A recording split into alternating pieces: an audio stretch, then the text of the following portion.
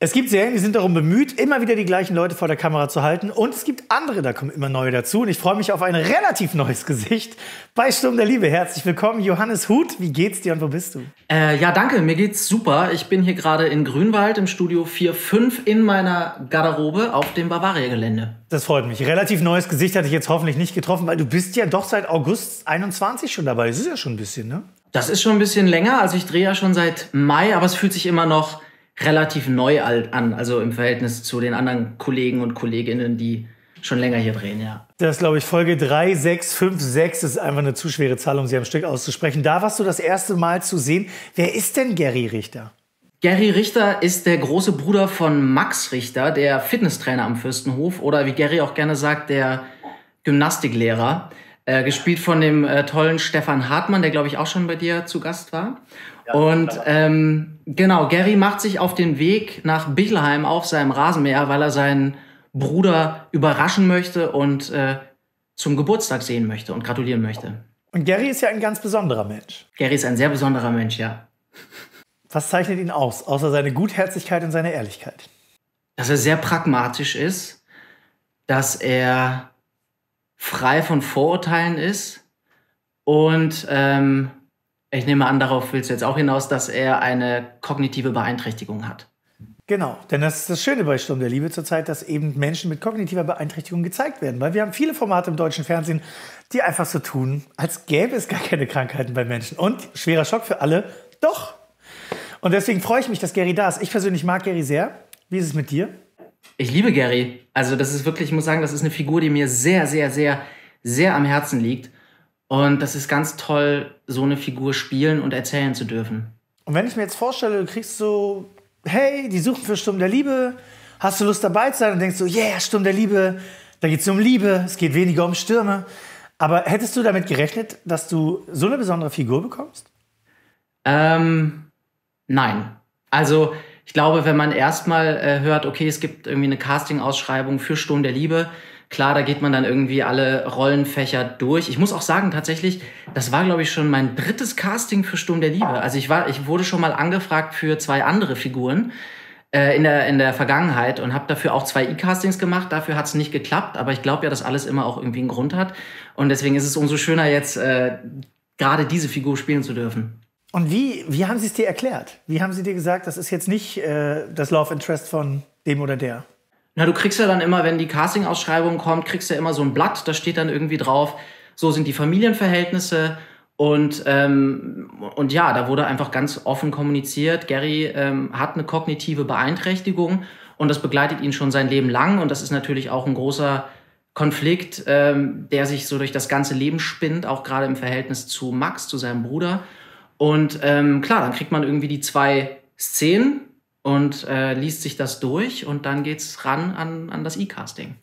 Auch das finde ich sehr besonders. Normalerweise, wenn eben Menschen mit Beeinträchtigungen im deutschen Fernsehen zu sehen sind, es ist nicht nur im deutschen Fernsehen, es ist fast überall so, dann geht es nur darum. Es geht nur darum, dass diese Figur eben diese Beeinträchtigung hat. Und auch das ist nicht der Fall. Bei dir und deiner Figur gibt es sogar ein Love Interest. Die Liebe steht im Fokus mit der Shirin. Und das finde ich auch außergewöhnlich, weil auch das ganz normal erzählt wird und nicht, oh Gott, dass jetzt zum Beispiel äh, äh, Stefan Hartmann in der Rolle sagt, oh Gott, mein Bruder ist verliebt, aber der hat doch das und, äh, sondern einfach, dass das gegeben wird. Und das finde ich sehr, sehr schön. Hattest du denn Berührungsängste mit dem Thema? Äh, Berührungsängste nicht. Also ähm, ich habe schon am Anfang, als ich dann eben die Ausschreibung bekommen habe, mich sehr viel mit der Figur beschäftigt und natürlich auch damit beschäftigt, was für eine Verantwortung einhergeht, wenn man eine Figur mit kognitiver Beeinträchtigung spielt. Und ähm, habe sehr viel mit meiner Agentur gesprochen, die da auch äh, wirklich super cool war und ein offenes Ohr für mich hatte. Äh, mit KollegInnen, mit FreundInnen, also wirklich mit, mit sehr vielen Menschen, die mir auch sehr am Herzen liegen, gesprochen und äh, so einfach äh, relativ offen kommuniziert, dass mir das sehr wichtig ist, so eine Figur zu erzählen, weil das schon der richtige Schritt ist, finde ich, ähm, in Richtung Inklusion, Diversität und auch eine Chance ist, auch Sehgewohnheiten zu verändern. Und ähm, klar, aber dass das natürlich trotzdem mit einer Verantwortung einhergeht, was ähm, Identität und Repräsentation bedeutet. Jetzt war ja vor kurzem großer Grund zu feiern. Hochzeit bei Sturm der Liebe. Und äh, eine Szene davor hat mir besonders gut gefallen. Äh, du mit dem großartigen Sven Wasner. Ich liebe eure Szenen. Wenn ihr zusammen in einer Szene seid, da kann man sich eigentlich immer schon freuen, weil da treffen ja zwei wirklich so schöne Welten. Der eine, der, der, der Schnacker mit Sven und dem, der Tacheles spricht. Und das ist so schön. Es geht irgendwie darum, er braucht irgendwie einen Anzug oder ein Jackett oder irgendwas. Und du stehst da gerade, reißt es dir aus der Hand und sagt, wie sehe ich aus? Und du sagst, dick. und er sagt, gut, da ist Stretch drin, das gibt noch ein bisschen nach. Dann geht er weg und du sagst, Erik, warum trägst du eigentlich nie Socken? Und er guckt dich völlig entsetzt an und sagt, Weiß ich nicht. Da frage ich mich, wie viel Zeit habt ihr für so eine Szene und wie viele Takes macht ihr wirklich? Weil ich kann mir vorstellen, bei euch beiden, das ist ein One-Take. Das klappt beim ersten Mal. Ähm, ich glaube, in dem Fall stimmt es sogar. Also, ähm, ich glaube, wir, das war wirklich, haben wir das in einem Take gespielt. Also, ähm, in der Regel haben wir im Studio, glaube ich, immer so Pi mal Daumen 20 bis 30 Minuten für so eine Szene. Aber ähm, ich glaube, gerade wenn es ein bisschen komödiantischer ist und gerade auch bei uns beiden, ähm, ist es auch ganz schön, wenn man das gleiche im ersten Anlauf schafft. Weil, ähm, weil, weil sich das vielleicht dann auch von Take zu Take auch ein bisschen abspielt, je nachdem. Äh, ja, und natürlich auch die Gefahr sehr groß ist, dass, ähm, dass, dass vielleicht auch die Ko Konzentration ein bisschen, dass man das ein bisschen verliert und dann natürlich auch sich selber immer wieder reißt, weil man die Situation selber so komisch findet. Also wirklich ein Fest. Also das macht wirklich Spaß. Aber schön ist natürlich auch, ähm, wenn man merkt, dass sich Zeit genommen wird. Und das ist natürlich bei einer Daily Soap, da muss wirklich, da wird, wer es nicht weiß, da passiert ganz, ganz viel. An einem Tag wird fast eine ganze Folge oder eine ganze Folge gedreht. Da ist nicht viel Zeit. Jetzt gab es eine Szene, die ist schon ein bisschen länger her. Da ging es ähm, um irgendwas auf dem Golfplatz. Und du warst mit Vanessa unterwegs. Und dann war die Szene eigentlich zu Ende erzählt. Und sie hatte gefragt, ob du sie mitnimmst zum Fürstenhof. Und dann gab es doch wirklich Fahrbilder. Sehr viele sogar. Man hat gesehen, wie ihr gefahren seid. Ihr habt Spaß gehabt von links nach rechts, oben, unten. Und das sieht man sonst nie. Wie kam es dazu, dass das, weißt du das noch? Das ist wahrscheinlich schon ewig her. Das war im Sommer und ich glaube, ähm, dass wir uns da tatsächlich einfach die Zeit genommen haben, ähm, während der Drehpause, also der Dreh ging weiter, aber wir haben dann quasi wie, ähm, ich würde fast sagen, wie mit einer Second Unit diese Fahraufnahmen gemacht und uns diese Zeit genommen, weil natürlich der Golfplatz auch ein neues Motiv war und man das natürlich auch nochmal neu zeigen wollte und das natürlich auch ähm, eben mal auch, auch, auch was anderes ist, ein neues Motiv, was Neues und äh, ich glaube, da haben wir uns einfach ein bisschen mehr Zeit genommen und äh, das hat auch sehr viel Spaß gemacht, da mit dem Rasenmäher über den Golfplatz zu cruisen. Das glaube ich und das war halt auch schön, weil es auch mal diesen Durch Atmungsmoment gibt, den es ja bei vielen Serien leider nicht so oft gibt. Du hast mal gesagt, wenn ich mich auf eine Rolle vorbereite, suche ich zunächst nach Musik, Bildern, Literatur und Filmen, die mich inspirieren und die mir dabei helfen, die Welt der Figur zu erschließen. Weißt du noch, was du rausgesucht hast für Gary? Äh, ja, ich habe sogar eine eigene, also ich lege mir dann immer so eine Spotify-Playlist an von Musik, die ich dann auch manchmal wieder zu Rate ziehe, je nachdem, was gerade für Bilder irgendwie anstehen. Ähm, bei Gary ähm, ganz konkret ähm, war es sehr viel 80er, äh, sehr viel 80er Musik. Ähm, klar, und, und Filme, ähm, also ich würde jetzt, äh, da ist natürlich äh, so, so, so ein Vorbild wie natürlich Forrest Gump. Das ist natürlich ein Film, den, den man sich da, wenn man die Figur sieht, klar, das schaut man sich an, den kennt man, aber schaut natürlich noch mal ein bisschen genauer und dann schaut man, schaut man weiter. Also ich glaube, das sind so die, die zwei zwei Dinge, die da am meisten irgendwie einen Einfluss mitgespielt haben bei der Vorbereitung. Und das Schöne ist, wir sehen dich ja jetzt bei Sturm der Liebe nicht zum ersten Mal. Man konnte dich schon woanders sehen. Und ich habe mich besonders gefreut, dich bei, es war nur eine kleine Szene, aber ich habe sehr gefeiert, Tina Mobil. Es war eine meiner absoluten Lieblingsserien 2021. Wer sie nicht gesehen hat, ab in die Mediathek Tina Mobil gucken. Es gibt kaum was Besseres. Und du hast halt auch mit der großartigen Gabriela Maria Schmeide eine Szene, die ist so geil. Ähm, sie, Tina ist eine Frau, die hat unglaublich viele Probleme, ignoriert die aber, bis es nicht mehr möglich ist, sie zu ignorieren. Und sie wurde jetzt dummerweise geblitzt oder ist zu schnell gefahren und du und ein Kollege haltet sie auf und es stellt sich heraus, dass sie wollte Kindern helfen, hat halt irgendwie einen Schwung Kinder hinten drin. Das war so schön. Ist denn jetzt überhaupt bei Sturm der Liebe für dich die Zeit, mal nebenbei irgendwo kurz aufzutreten oder bist du vollends eingebunden? Ich bin vollends eingebunden. Also es gibt die Möglichkeit, wenn man mal irgendwie ein oder zwei Drehtage für ein Projekt hat oder hätte, ähm, dass man da ein bisschen was arrangieren kann. Aber da braucht es auch immer ein bisschen Vorlauf zu, weil wir natürlich auch viel vorproduzieren.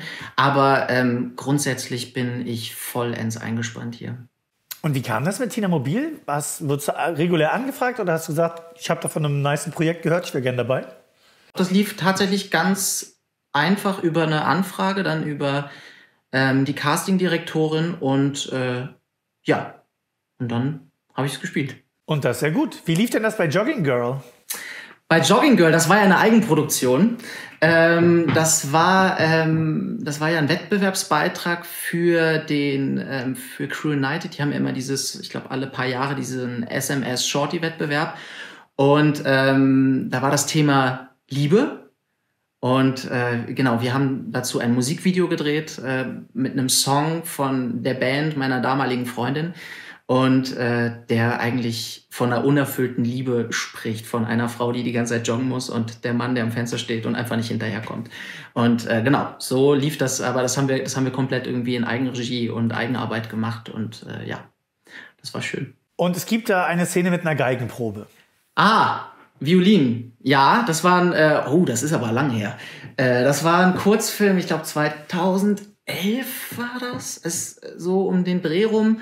Äh, ein ganz toller Regisseur aus Berlin, ähm, der diesen Film gemacht hat und ähm, wofür ich tatsächlich äh, extra äh, Geigenunterricht bekommen habe.